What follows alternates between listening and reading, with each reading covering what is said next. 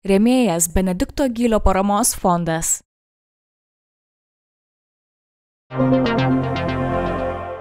Sveiki, mėly mokslos ribo žiūrovai, štai ir vėl dvi savaitės praleikė ir mes sveikiname su šventiniu podkastu.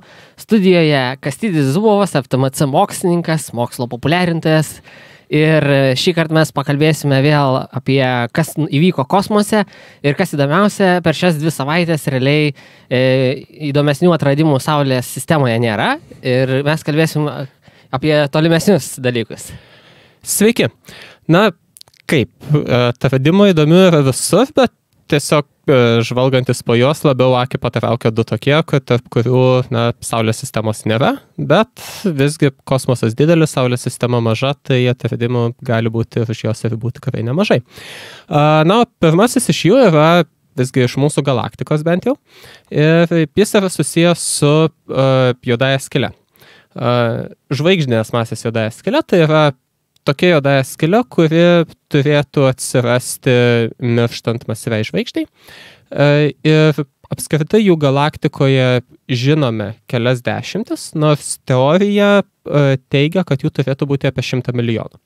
Nes teoriškai mes galim suskaičiuoti, kiek jų turėtų būti, žinodami, kiek gimsta masyvių žvaigždžių ir kiek per visą galaktikos gyvavimo laiką tų masyvių žvaigždžių turėjo sparokti supernovomis ir po savęs palikti e, juodasias skilės. Mhm. Tačiau randame jų labai nedaug. Todėl, kad dauguma tų juodųjų skilių greičiausiai yra pavienės ir, na, jeigu juodoji skilė kažkur plaksto galaktikoje pati savo, taip ją aptikti praktiškai neįmanoma. Nes tam e, reikia labai retai pasitaikančių ir visiškai neprognozuojamų sąlygų, kad ta juodoji skylė pralėktų tiksliai tarp mūsų ir kažkokio kito tolimo objekto ir tada juodosios skylės gravitacija iškreiptų tolimo objekto šviesą ir taip mes ją galėtumėm aptikti. Tuo tarpu tos juodosios skylės, kurios yra aptiktos, jos visos aptiktos dvinarėse sistemose, kur e, juodoji skylė kažkokiu būdu e, ryja medžiagą iš savo žvaigždės kompanionės. Na, e, dažnai tai būna, kad tiesiog juodosios skylės gravitacija nutempia dalį tos žvaigždės kompanionės paviršinių sluoksnių. Ir taip prisitraukia medžiagą, na, o ta medžiaga, krisdama į juodąją skylę, įkaista, ima švitėti ir jos švitėjimo spektras yra labai kitoks negu žvaigždės, todėl mes galime identifikuoti, kad ten yra juodoji skylė. O čia, kad įsivaizduoti, jeigu, pavyzdžiui, prie mūsų Saulės būtų, e, mhm. tai tiesiog paviršiniai Saulės sluoksniai, ta kažkokia plazmo, tos dujos kažkokios galėtų po truputį Na, sirptos būti, ne? Taip, tačiau uh, Saulės atveju uh, ta juodoji skylė turėtų būti labai labai arti realiai taip arti uh, viena prie kitos juodoji skylė ir, ir Saulės masės žvaigždė, na, greičiausiai nebūna. Uh, tačiau juodoji skylė gali būti pakankamai arti e, didesnės žvaigždės, pavyzdžiui, raudonosios milžinės. Ir raudonoji milžinė, kuri jau yra, tarkim, panašios masės į Saulę, bet žymiai didesnė. O kiek tai, kartų maždaug? Na, kai mūsų Saulė išsiplės į raudonąją milžinę, tai e, jos e, spindulys pasidarys panašus į dabartinį Žemės orbitos spindulį. Šiuo metu Saulės spindulys yra apie 700 tūkstančių kilometrų, pasidarys apie 150 milijonų kilometrų. Tai labai daug kartų. Na taip, ne, ne tūkstantį kartų, bet kokius porą šimtų kartų tikrai gali padidėti, ar bent šimtą kartų. Uh, tai va, ir tokia raudonoji milžinė, na, jos paviršinius sluoksnius jau veikia žymiai silpnesnė tos pačios žvaigždės gravitacija, tiesiog dėl to, kad jie daug toliau nuo žvaigždės centro. Tai jos nusiplėšti yra daug lengviau. Uh, tai va, tokiais atvejais uh, galima aptikti juodąją skylę ir ją tyrinėti. Uh, Bet, kaip minėjau, kol kas tik tai pora dešimčių tokių sistemų yra identifikuotos galaktikoje. E, tiesiog dėl to, kad supernovos sprogimo metu dažniausiai juodoji skylė yra išmetama, na, įgyja kažkokį nemenką greitį ir dvinarė sistema labai dažnai yra suardoma. E, tai va, bet įmanoma ir tokia situacija, kad e, juodoji skylė ir kažkokia žvaigždė yra dvinarėje sistemoje, bet atstumas tarp jų yra toks, kad tas masės, masės pernaša nevyksta ir dėl to prie juodosios skylės vis tiek nėra e, karštų dujų ir spinduliuotės na, nematome. Tačiau tada mes galėtume pamatyti, kad laikui bėgant e, žvaigždė juda taip, taip pirmin, tai atgal, nes jie iš tiesų juda aplink bendrą masės centrą su juodąją skilę. Ir, na, toks metodas jau kurį laiką naudojamas gana sėkmingai aptikti egzoplanetas, taip pat apskritai tyrinėti dvinarės žvaigždės. O dabar grupė mokslininkų teigia, kad panaudoję šį metodą atrado e, juodąją skylę, kurios masė yra apie 70 Saulės masių. Mhm. Um, iki šiol dvinarėse sistemose rastos juodosios skylės, jos buvo, na, tarp keleto ir maždaug 15 Saulės masių. Tai čia labai sun, tokias. Taip, tai 70 masyvi. Saulės masių yra daug daugiau ir tai yra masyviausia žinoma žvaigždinė juodoji skylė. Ta prasme, jeigu nekalbam apie tas supermasyves juodasis skylės, kurios yra galaktikų centruose, tai šita būtų masyviausia žinoma, masyviausias žinomas toks objektas. Um, netgi įvertinant tas juodasias skylės, kurias radome gravitacinių bangų signalais ir būtent gravitacinių bangų uh, na, gravitacinių bangų signalai ateina iš to, kai susijungia dvi juodosios skylės, ar ten juodoji skylė su neutroninė žvaigždė, ar dvi neutroninės žvaigždės. Uh, taigi dviem juodosiams skylėms susijungus susiformuoja nauja masyvesnė juodoji skylė. Bet net ir tie susijungimo rezultatai mums žinomi yra šiek tiek mažesnės masės. Masyviausias iš jų yra 60 kelių Saulės masių, tai netoli to, bet 70 nesiekia. Um, Tai va, tai, na, atrodytų labai keista, kaip, kaip čia taip gali būti. Ji o, turėjo daug praryti medžiagos. Jo, ji turėjo daug praryti medžiagos, nes vėlgi, mūsų dabartinis supratimas apie žvaigždžių evoliuciją teigia, ir tai gerai atitinka stebėjimus, kad masyvios žvaigždės jos uh, gyvena palyginus trumpai kelis milijonus metų, toli gražu ne tuos 10 milijardų, kiek mūsų Saulė, bet per tuos kelis milijonus metų jos pučia labai stiprius vėjus ir nusimeta labai didelę dalį savo uh, masės. Uh, tai praktiškai nepriklausomai nuo to, kokia masyvi buvo žvaigždė gimimo metu, jeigu jos pradinė masė buvo daugiau negu apie 40 Saulės masių, tai, na, ji gyvenimo pabaigos pabaigoje nebus masyvesnė negu 40 Saulės masių, nes tiesiog visą e, masės perteklių virš šitos ribos, ji turbūt nusimes e, tiesiog pusdamas stiprius vėjus. Na taip, jeigu 40 Saulės masių žvaigždės sproksta supernova, na tai gali palikti ten 15 Saulės masių juodąją skylę. Um, nedaugiau. O 70 palikti, na, sudėtinga. Turėtų, jeigu kad žvaigždė tokią juodąją skylę paliktų, na, tai jos masė turėtų būti turbūt keli šimtai Saulės masių, bet tokių masyvių žvaigždžių nežinome. Masyviausias žinomas žvaigždės yra apie 150 Saulės masių. Mhm. Um, tai va, tai kyla klausimas, kaip tokia juodoja skylė galėtų egzistuoti. Um, Gali viena, labai sena yra? Um, labai sena, na, vėlgi sudėtinga, nes tam, kad, tam, kad ta juodoji skylė užauktų, na, jie iš kažkur turi gauti medžiagos. E, medžiagos gauti galėtų, jeigu, pavyzdžiui, kita juodoji skylė, ne, ne juodoji skylė, kita žvaigždė šalia jos yra ir perdoda medžiagą. Bet net jeigu visą tą kitą žvaigždę suvalgytų, na, tai vis tiek gautų, na, gal porą dešimčių Saulės masių, gal panašiai. Mhm. Ir Taigi, tai užtrunka laiko, kol jo, tai, įkrenta, tai, užtru, tai užtrunka laiko ir, ir plus, na, reikėtų gal net ne vieną žvaigždę padaryti, e, kad užauktų iki tokios masės. Čia šiaip yra viena iš hipotezių, kad e, galėt, gali būti, jog ta juodoji skylė prarijo kitą žvaigždę. Prarijo tokiu būdu, kad galbūt irgi dvinarėje sistemoje ta juodoji skylė E, tik susiformavusi, ji įgavo tokį greitį, kad pataikė tiesiai į savo kompanionę ir toje kompanionėje pasiliko, jau nebeišlėkė iš jos ir tiesiog surijo iš vidaus, sutraukė visą tą e, žvaigždę. E, na, tokiu atveju taip ta juodoji skylė galėjo palyginus greitai suryti visą tą kitą žvaigždę, kurios masė galėjo būti, tarkim, iki 40 Saulės masės. Bet turi Na, tiksliai, taip, tiksliai pataikyti, ne? Jo, turi tiksliai, tiksliai pataikyti. Tai labai menkai tikėtinas atvejs, bet žinoma, čia tik viena tokia juodoji skylė aptikta. Uh, tai gali būti, kad mes čia aptikom tokį labai, labai retą atvejį. Nes visgi, kuo masyvesnė juodoji skylė, tuo lengviau ją aptikti. kadangi aptikta buvo būtent pagal tai, kad e, šalia esanti e, kita žvaigždė irgi gana masyvi žvaigždė, bet ten apie 10 Saulės masių, e, ji e, sukasi na, ji laikui bėgant juda taip, taip pirmin, tai atgal, vadinasi, aplink kažką kitą sukasi. Ir iš to, kaip ta žvaigždė juda pirmin atgal, galima apskaičiuoti, kiek toli, na, ir kiek toli ir kokios masės kitas objektas yra. Na, taip nustatyta, kad atstumas tarp šitų dviejų objektų turėtų būti šiek tiek didesnis negu tarp Saulės ir Žemės. Sukimosi periodas yra apie šiek tiek mažiau negu 80 Žemės parų.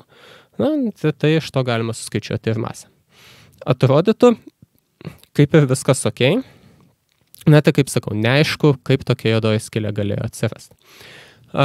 Tiesa, netrukus e, kelios kitos mokslininkų grupės pateikia uh, savo analizę tų pačių duomenų ir jos visos teigia, kad visgi šitie mokslininkai ka kažkiek per daug optimistiškai žiūrėjo į savo duomenis ir um, kad pakartojus duomenų analizę nėra tokio aiškaus signalo, kad galėtumėm teikti, jog tikrai kažkas atrasta. Lyg ir yra kažkoks, kažkoks judėjimas, bet tai gali būti tiesiog e, triukšmas, kažkokie netikslumai matavimas. Paklaidos ribose. Taip, būtent paklaidos ribose, taip kad reikėtų dar gal žymiai daugiau tų stebėjimų padaryti, kad kažką aptiktumėm. Viena grupė netgi teigia, kad pagal jų skaičiavimus ten gal, greičiausiai yra kažkoks, kažkokia kompanionė šitos žvaigždės, bet ta kompanionė gali būti tiesiog um, 7-8 Saulės masių juodoji skilė. Kas visiškai atitiktų tai, ką mes žinom apie jau egzistuojančias juodasis skilės. Tai va, taip kad atsakymo galutinio kol kas nėra, bet tiesiog žinom, kad yra įdomus objektas, kurį reikėtų toliau stebėti ir tiksliau nustatyti, kas ten tokio vyksta. Mhm. O kaip jis toli yra nuo mūsų? Um, tiksliai nepasakysiu, turbūt, kad keletas kilo per sekundę. Kaip sakiau, mūsų galaktikoje vadinasi, na, iki poros dešimčių kilo per sekundę, nes iki galaktikos centro nuo mūsų yra 8 kilo per sekundę su tarp pačiu. Uh, tai va, bet jis nėra kažkoks labai artimas. Mhm. O kiek čia tų šviesmečių, jeigu taip? Vienas perfsekas yra šiek tiek daugiau negu trys šviesmečiai, na tai būtų gal iki dešimties tūkstančių šviesmečių kažkas mhm. tokio. O per tokį laikotarpį tas galėtų išaukti dar labiau tą juodoji skilė? Uh, Ar čia trumpas laikas? Per kurį laikotarpį? Na, nes jeigu mes matom dabar, kas buvo prieš mhm. 10 Ai, tūkstančių. 10 tūkstančių metų yra labai mažas laiko tarpas. Šiuo metu ta juodoji skylė tikrai niekaip neauga, nes jeigu ji auktų nors kiek reikšmingai, mes matytumėm švitėjimą iš. Uh, bet nematom. Bet net jeigu ji, net jeigu ta dvinara būtų artima ir ten vyktų masės pernaša, nu, tai paprastai mes kalbam apie medžiagos kritimą, na, 10 minus 5 saulės masės per metus arba mažiau greičiausiai iš viso 10 minus 6, 10 minus 7, tai vadinasi per milijoną metų ar daugiau tik tai viena Saulės masė įkrenta. Tai per mhm. 10 tūkstančių metų, na tai čia visiškai paklaidos ribose ta, tas masės pokytis būtų. Mhm. Tai lauksime detalesnių stebėjimų ir bus iš, matyti. es, iš esmės taip, e, reikia, reikia sulaukti detalesnių kažkokių daugiau stebėjimų ir tada bandyti geriau suprasti, kas tenai tokio yra. Mhm. E, o antroji naujiena irgi susijusi su juodosiamis skilėmis. Taip, irgi su juodosiam skilėm, tik dabar jau tomis supermasyviamis, kurios yra galaktikų centruose ir kurios e, gali paveikti galaktikų evoliuciją. Šiuo atveju kalbam apie tokį poveikio būdą, kuris vadinasi palaikymo tipo grįžtamasis ryšys. Na, čia šiek tiek laisvai išverčiau iš anglų kalbos maintenance mode feedback. Um, maintenance mode tai reiškia, kad juodoji skilė palaiko galaktinėje, tiksliau, aplink galaktiką esančias dujas karštas. Nes um, juodosios skilės vienas iš esminių poveikių galaktikai yra toks, kad į juodąją skylę krentančios dujos ima švitėti ir kitaip veikti toliau esančias dujas, kol galiausiai e, sustabdo tolesnį spartų dujų kritimą į galaktikos centrinę dalį, taip sustabdydamos ir žvaigždžių formavimas ir tos pačios juodosios skylės augimą. Tuo metu, kai jau yra pristabdytas šitas procesas, tada į juodąją skylę vis tiek dar gali kristi dujos, tik tai jos tą daro gana lietai. Ir kai jos krenta lietai, tada standartiškai kas įvyksta, tai magnetinis laukas susisukęs dujose aplink tą juodąją skylę sudaro sąlygas formuotis čirkšlėms. Čirkšlės yra labai greitai, beveik šviesos greičiu lekiantis medžiagos srautai, jie yra gana siauri ir jie dažnai gali išsiveršti iš galaktikos ir e, perduoti labai daug energijos dujoms, kurios yra aplink galaktinėje erdvėje. Mhm. Šitas energijos perdavimas palaiko tas aplink galaktinės dujas karštas ir neleidžia joms kristi į tą pačią galaktiką. Žodžiu, palaiko dujas toli nuo juodosios skylės, kad į tą juodąją skylę sparčiai dujos niekada nebegali kristi. Dėl to ir palaikymo tipas. Mhm. Nes kita... yra, kad sakai, karštos, mhm. Ne taip, jeigu jas būtų vėsios, šaltos, tai mhm. kri, greičiau kristų? Čia? Taip, čia galim galvoti taip pat, kaip vat, karštas oras kyla į viršų. Tiesiog dėl to, kad karštas oras daugiau kinetinės energijos, mažesnis tankis ir dėl to kyla aukštyn. Panašiai ir karštos dujos, jeigu, jeigu jos yra pakankamai karštos, tai jų dalelių kinetinė energija yra tokia, kad jos gali pabėgti iš galaktikos gravitacinio lauko. Mhm. Vadinasi, jos lieka kažkur aplink galaktinę erdvę. Kažkokią Jeigu... trajektoriją judat? Jo. Mhm. Jeigu dujos yra šaltos, nu, tai jos dažniausiai susitraukia, suformuoja srautus kažkokius ir tas srautas jau nebeturi kaip pasipriešinti galaktikos gravitaciją ir dėl to ima kristi į galaktiką. Tai va, ir tokiu būdu galaktikos auga, tiksliau augo senais laikais, dabar jau nebėra tiek daug tų šaltų dujų, kad jos galėtų labai auginti galaktikas. Bet irgi šiek tiek yra ir šiek tiek tokių į galaktikas krentančių dujų irgi matome ir tam pačiam paukščiu take. Mhm. O įdomu, tos temperatūros šalta, šaltos dujos ir karštos, tai kokie čia? A, karštos, tai kalbam dažniausiai apie milijoną laipsnių ir daugiau. Tai šaltos, jo, šaltos, na, mažiau negu gal šimtas tūkstančių laipsnių ar kažkas tokio. Ar mažiau negu 10 tūkstančių laipsnių. Aišku, irgi labai didelės temperatūros lyginant su to, prie ko mes įpratę, bet esmė yra, kad um, priklausomai nuo galaktikos masės egzistuoja tam tikra temperatūra, kurią įgyjusios dujos jau gali pabėgti iš galaktikos. Tarkim, mūsų paukščių takui tai yra apie kelius šimtus tūkstančių laipsnių. Na, masyvesniems galaktikoms aukštesnė temperatūra, bet milijonas laipsnių jau iš daugumos galaktikų turėtų galėti pabėgti. Tai va. Žodžiu, turim tokią situaciją, tas palaikomasis grįžtamasis ryšys, vadinasi, kad į juodąją skylę krenta nedaug dujų, ta nedidelė dalis dujų leidžia susikurti čirkšliai, čirkšlė labai daug energijos paduoda aplink galaktiką esančiams dujoms ir tos dujos išlieka karštos ir jos, na, jeigu ir krenta į galaktiką, tai labai lietai, gerokai lėčiau negu jos tą darytų, jeigu nebūtų šitų čirkšlių. Mhm.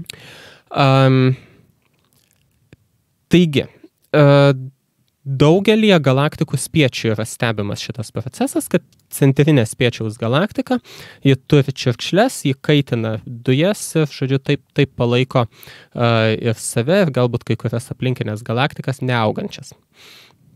Uh, iš kitos pusės,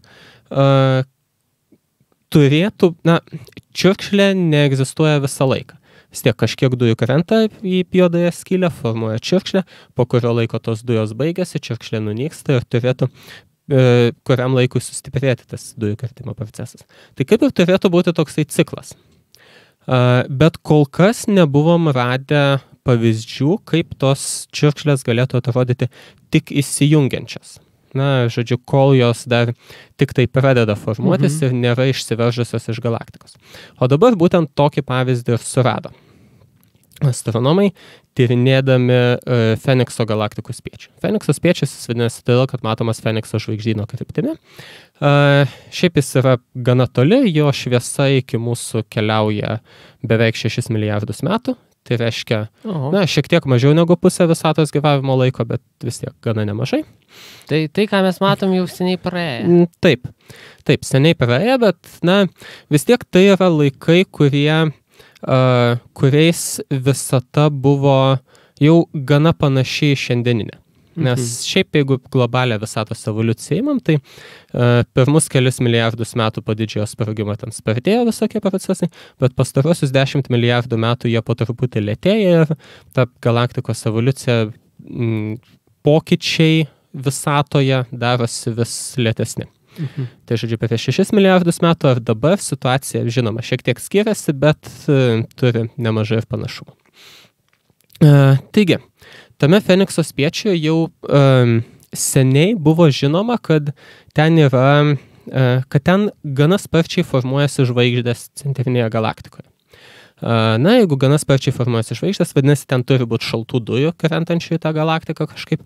Ir tikrai nebuvo rasta didelių čiurkšlių, kurios iš tos pagrindinės galaktikos juodosios skilės stabdytų dujų vesimą.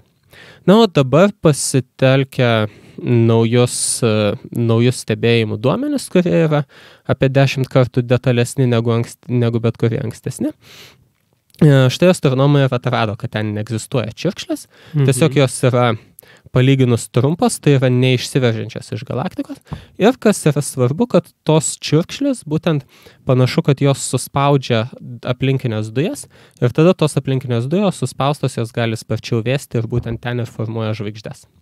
Tai yra, kad uh, žvaigždžių, uh, žvaigždžių formavimasis pagrindė vyksta aplink tas čirkšlės. Tai tas yra labai svarbu, kad e, tai irgi yra prognozuojama jau seniau teoriniais modeliais, e, kad juodosios skilės poveikis gali būti dviejopas. Vienas, vat, kaip minėjau, tas dujų išstumimas, dujų palaikymas karštomis, kas e, stabdo žvaigždėdavę. Mhm. Bet kitas procesas yra, kad tie pat, tos pačios tiekmes ar čirkšlės gali suspausti dujas ir bent kuriam laikui paspartinti žvaigždėdavę. Tai va čia būtent tą ir matome. Ir toje galaktikoje žvaigždės formuojasi maždaug 500 Saulės masių per metus sparta, kas yra daugiau nei 100 kartų sparčiau negu paukščių take. Mhm. Um, ir vėlgi toje galaktikoje ilgą laiką tokia žvaigždė sparta negalėtų išlikti, nes tiesiog dujų nepakaktų ir labai greitai tos dujos būtų suvartotos. Bet čia greičiausiai yra to ciklo viena iš dalių, kad vat, dujos pradėjo kristi į galaktiką, pasiekė juodąją skylę, pradėjo formuotis čirkšlė, ta čirkšlė dar netgi paspartino žvaigždėdavę, bet netrukus tos uh, tie burbulai čirkšlės formuojami, čirkšlių formuojami, jie išauks tiek, kad kaip tik dujos taps karštos, žvaigždė dar vėliausias ir tas dujų kritimas į galaktiką ir giliausias. Mhm. O tuo metu, tuo metu, kai yra, e, yra tas rovė paleista, ar per tą laiką, kol išlėkia ta medžiaga, ar iš, gali suspėti susiformuoti naujos žvaigždės? Ar mhm. neužtenka to laiko, kad užgimtų nauja? Um, kaip ir taip, jeigu žiūrėtume tiesiog į čirkšlę, kaip jį lekia iš galaktikos, tai kadangi jį lekia beveik šviesos greičiu, na tai taip ten per keliasdešimt tūkstančių metų ar kelius šimtus tūkstančių metų jau iš centrinės juodosios skylės pasiektų tą aplink galaktinę erdvę. E, bet jeigu turime nemažai dujų aplink juodąją skylę, tai ta čirkšlė turi išvalyti tas dujas, išstumti ir ji yra labai stipriai stabdoma. Dėl to e, tos čirkšlės paties galo plitimas uh, judėjimas tolyn, na, jis yra daug lėtesnis mhm. ir tas, tas procesas gali užtrukti ir milijonus metų. Um, tai, tai vadinasi, tokia, tokia čirkšlė, na, gali, um, gali išlikti pakankamai ilgai, kad ji ten leidžia formuotis naujoms žvaigždėms. Mhm. Nes būtent kelių milijonų metų laikotarpiu formuojasi žvaigždės paprastai iš dujų. Ir mūsų žvaigždė irgi formavo per maždaug kelis milijonus metų. Ne? A, na, viskas priklauso nuo to, nuo kada, pradė, nuo kada pradėsim žiūrėti, kad čia jau formuojasi žvaigždė. Nes mm. visa tai yra toks dinaminis, nuolat kintantis procesas, kad kažkoks molekulinių dujų debesis susiformuoja, ima fragmentuoti, tie gabaliukai ten byra toliau, kol galiausiai lieka maždaug žvaigždžių masės. Gabalai, kurie traukiasi, kuriuose užsižiebė termobrandulinės reakcijos ir susidaro žvaigždė paskui ten aplink ją planetos gali formuotis. Bet taip tas procesas trunka na, apie kelis milijonus metų. Mhm. Nuo tada, kai vat, prasideda kažkokia fragmentacija, iki tada, kai ten užsižiebė žvaigždė. Mhm. Tai čia irgi yra visiškas kosmosas. Na, taip, tokie kosminiai dalykai, daugybė mastelių, kurie mums yra na, tikrai protų nelabai suvokiami, nes na, neprisitaikėmės tam. Bet galim kažkaip nagrinėti viską. Mhm. E, tai šią progą gal ir e, palinkėsim žiūrovams e, domėtis, būti atviriems ir atverti savo protus visiškam kosmosui. Ir e, sveikinam, džiaugiamės, e, kad sulaukėte su mumis e, švenčių laikotarpio, gražių jums švenčių. Astronomams palinkėsim gėdro dangaus. Ir kągi, sutiksim kitais metais. Iki. Rėmėjas Benedikto Gylio paramos fondas.